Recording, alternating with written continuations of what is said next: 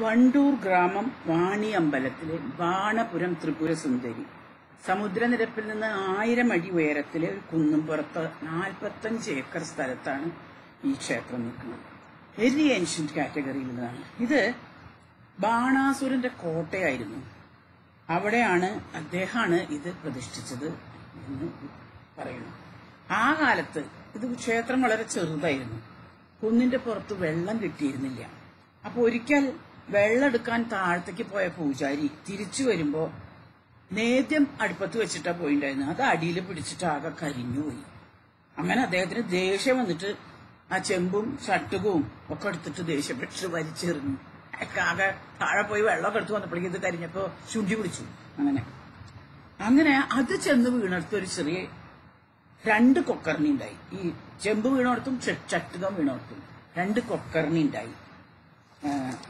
അതിന്നാണ് പിന്നെ ഇപ്പൊ വെള്ളം എടുക്കാൻ സാധിക്കുന്നത്. സ്വത്ത് കരിക്കാട്ട് ദേവസ്വത്തിന്റെ തന്നെയാണ്. ആയിരത്തി തൊള്ളായിരത്തി എൺപതിൽ മാത്രമേ ഒരു കമ്മിറ്റി ഉണ്ടായിട്ട് റിനോവേഷനൊക്കെ നടന്നിട്ടുള്ളൂ.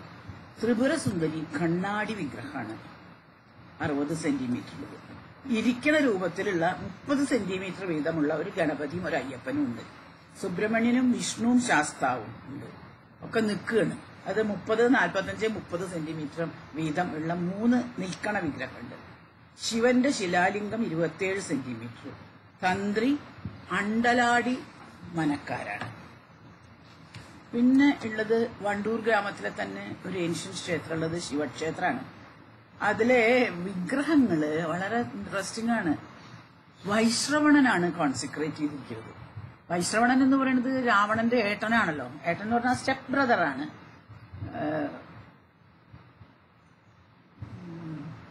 വിശ്രാവസ് മഹർഷിയുടെ ആദ്യത്തെ ഭാര്യയിലുള്ള കുട്ടിയാണ്. അപ്പൊ രാവണന്റെ ഏട്ടനാണ്. അദ്ദേഹമാണ് അവിടെ വണ്ടൂരിലെ നിലമ്പൂർ താലൂക്കിലെ വണ്ടൂരിലെ ശിവക്ഷേത്രം കോൺസിക്രേറ്റ് ചെയ്തിരിക്കുന്നത്. അപ്പൊ വളരെ ആണ്. പണ്ട് ഇത് മൂസതുമാരാണ് കൊണ്ടുനടന്നിരുന്നത് പിന്നെ അവർ അമ്പൂരിമാർക്ക് കൊടുക്കുകയാണ് ഉണ്ടായത്. മൂന്ന് ഊരാളന്മാരുണ്ട് കരുമാരപ്പെട്ട നടുവത്ത് പുല്ലൂര് മന. മൂന്ന് ആൾക്കാർ ആയിരത്തി തൊള്ളായിരത്തി നാൽപ്പത്തി അഞ്ചിൽ ബോർഡ് ഏറ്റെടുത്തു. ഒരു വൃത്ത ശ്രീകോവിലാണ് ഏകതല ശ്രീകോവിലാണ് കിഴക്ക് അഭിമുഖാണ്. വല്യമ്പലത്തിന്റെ വടക്ക് ഭാഗത്ത് വേട്ടേക്കാരനെ കാണാനുണ്ട്. ശിവന്റെ ചുറ്റമ്പലത്തിന്റെ വടക്ക് ഭാഗം കുറച്ച് താണ ലെവലിൽ ഒരു മൂന്ന് മീറ്റർ താണ സ്ഥലിൽ സ്ഥലത്ത് ഒരു വിഷ്ണു ക്ഷേത്രമുണ്ട്. അത് മറ്റൊരു ചുറ്റുമതിലിന്റെ ഉള്ളിലാണ്. ശരിക്കും പറയുകയാണെങ്കിൽ ഇതേമാതിരി തന്നെയാണ് നടുവത്ത ശിവക്ഷേത്രത്തിലും നമ്മൾ കാണുന്നത്. കുറച്ച് താണ ലെവലിൽ വേറെ ചുറ്റുമതിലിൽ വിഷ്ണുവിനെ കാണുന്നുണ്ട്. അപ്പൊ ഇവരുടെ ഒരു ഒരു എന്താ പറയാ ഒരു പതിവായിരുന്നിരിക്കണം അങ്ങനെ അത്. വൃത്ത ശ്രീകോവിലിൽ കിഴക്ക് അഭിമുഖമാണ് അത് ഗണപതി ശ്രീകോവിലിന്റെ തെക്കേ ചുമരിൽ കാണുന്നുണ്ട്. മറ്റു ഉപദേവതകൾ കിഴക്ക് ശാസ്താവും പിന്നെ ഒരു നാഗത്തറയുണ്ട്. എല്ലാത്തിനും കൂടിയിട്ട് ആനപ്പുള്ള ചുറ്റുമതിൽ ഉണ്ട് ഇനി? വിഷ്ണുവിന് വേറെ ചുറ്റുമതിലുണ്ട് ശിവന് വേറെ ചുറ്റുമതിലുണ്ട്. എല്ലാവർക്കും കൂടിയിട്ട് ആനപ്പുള്ള ചുറ്റുമതിൽ എല്ലാ ഉപദേവന്മാർക്കും ഒക്കെ കൂടി. അപ്പൊ ഒരു കോംപ്ലക്സ് ആണ് ക്ഷേത്രത്തിന്റെ. ശിവലിംഗം നാൽപ്പത്തഞ്ച് സെന്റിമീറ്ററേ ഉള്ളൂ. വിഷ്ണുവിന് തൊണ്ണൂറ് സെന്റിമീറ്റർ ഉണ്ട്. ചതുർഭുജാണ്. വേട്ടേക്കരൻ പീഠത്തിന്റെ മുകളിൽ ഇരിക്കുന്ന ഒരു വാൾ മാത്രമാണ് അയ്യപ്പനും ഗണപതിയും ഇരിക്കുന്ന രൂപമാണ് മുപ്പത് സെന്റിമീറ്റർ വീതം. നാഗങ്ങൾക്ക് ഇരുപത്തിയേഴ് സെന്റിമീറ്റർ. ഇതിലെ ശിവനെയാണ് വൈശ്രവണൻ പ്രതിഷ്ഠിച്ചിരിക്കുന്നത്. അപ്പൊ ശിവനാണ് ഇതിലത്തെ ഏറ്റവും പഴയത് എന്ന് പറയുന്ന വൈശ്രവണ പ്രതിഷ്ഠ എന്ന് പറയുന്നത് ഇതിലത്തെ ശിവനാണ്. രണ്ട് തന്ത്രിയുണ്ട്. അത് ശിവനിന്റെ ശിവന്റെ തന്ത്രി മൂത്തേടത്തില്ലാണ്. വിഷ്ണുവിന്റെ തന്ത്രി അരിപ്പുറത്തില്ലാണ്. അങ്ങനെ രണ്ട് തന്ത്രി രണ്ട് ദേവന്മാർക്കും രണ്ടാൾക്കും തുല്യ പ്രാധാന്യമാണ് ഈ ക്ഷേത്രത്തിൽ. ഇനി പോ ചെറുകോട് പോരൂർ ഗ്രാമത്തിലെ ശാസ്താവ് അങ്ങോട്ട് പുറം ഭഗവതി.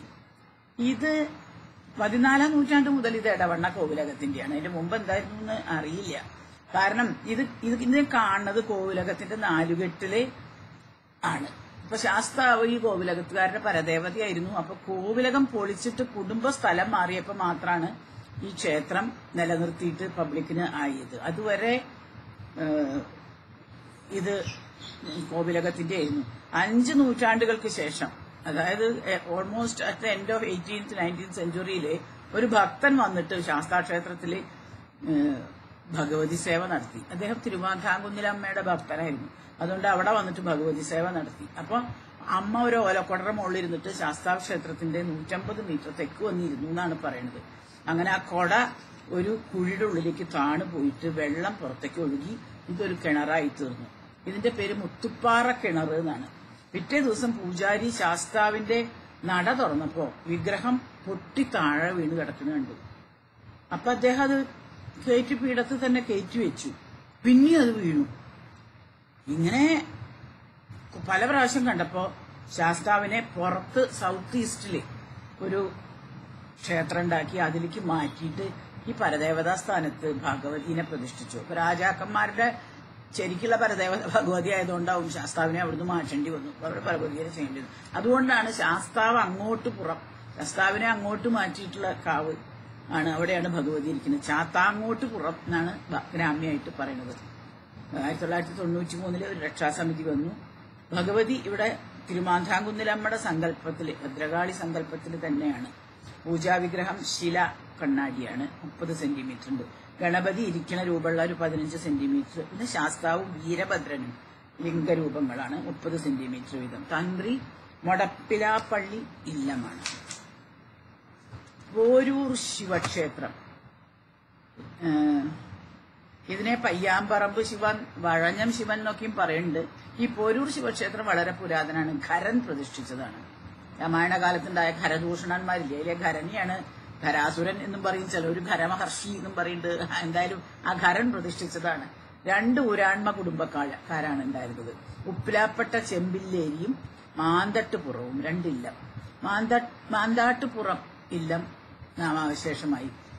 പിന്നെ അവരുടെ അവകാശം വെള്ളക്കാട്ട് പട്ടേരി മനക്കാർക്ക് കൈമാറി. ആയിരത്തി തൊള്ളായിരത്തി ഇരുപത്തി ഒന്നിലെ ആരോ വാതിൽ പൊളിച്ചിട്ട് പൂജാ സാമഗ്രികൾ മുഴുവൻ കൊള്ള അടിച്ചു ആയിരത്തി തൊള്ളായിരത്തി നാൽപ്പത്തി അഞ്ച് മുതൽ ഒരു ട്രസ്റ്റി ബോർഡാണ് ഇത് നോക്കുന്നത് ശിവലിംഗം മുപ്പത്തിയേഴ് സെന്റിമീറ്റർ വിഷ്ണു അറുപത്തിയേഴ് സെന്റിമീറ്റർ സ്റ്റാൻഡിംഗ് വിഷ്ണുവാണ്.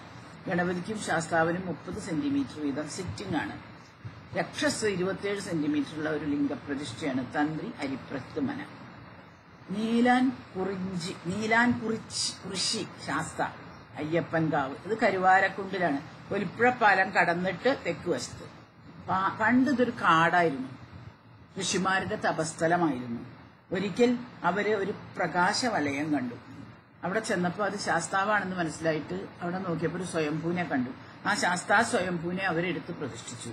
കാലങ്ങൾക്ക് ശേഷം ഈ ക്ഷേത്രത്തിനടുത്ത് ഒരു ബ്രാഹ്മണൻ വീട് പണിഞ്ഞ് താമസിക്കാൻ തുടങ്ങി. അയ്യപ്പനെ അദ്ദേഹം തന്റെ പരദേവതയാക്കി. ആ ഇല്ലത്തിന്റെ അവശിഷ്ടം ഇപ്പോഴും ഇതിന്റെ ഈ ക്ഷേത്രത്തിന്റെ അടുത്ത് കാണാനുണ്ട്. പിന്നെ കുറെ കാലം കഴിഞ്ഞപ്പോൾ സാമൂതിരി ഇത് കൈക്കലാക്കി. തന്റെ യോദ്ധാവായ വിശാരടി സമുദായത്തിൽപ്പെട്ട ചെറുകര അക്കയിൽ ഉണ്ണി എന്ന് പറഞ്ഞ ആൾക്ക് കൊടുത്തു.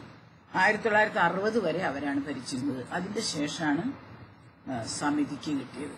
ശാസ്താവിന് മുപ്പത് സെന്റിമീറ്ററാണ് ലിംഗപ്രതിഷ്ഠയാണ്. അതുകൂടാതെ സാത്യക പ്രഭാ സങ്കല്പം കൂടി ഉണ്ട്.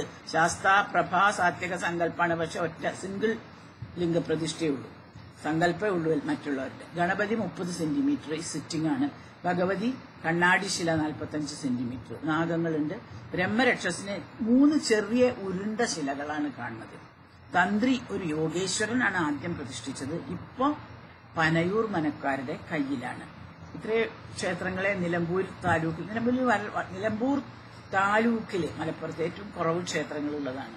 അവിടെ ആകെ പതിമൂന്ന് ക്ഷേത്രമേ നിലമ്പൂർ താലൂക്കിൽ ഉണ്ട്. ഉള്ളതൊക്കെ നല്ല ക്ഷേത്രങ്ങളൊക്കെയാണ് പക്ഷെ കുറവാണ് നമ്പർ കുറവാണ്. ഇനി നമ്മൾ അടുത്ത ലക്കം മുതൽ മലപ്പുറം ജില്ലയിലത്തെ തന്നെ പെരിന്തൽമണ്ണ താലൂക്കിലേക്ക് ഒന്ന് നോക്കാം. അവിടെ ഒരുപാട് ക്ഷേത്രങ്ങൾ പഴയത് ഉള്ള സ്ഥലം തന്നെയാണ്.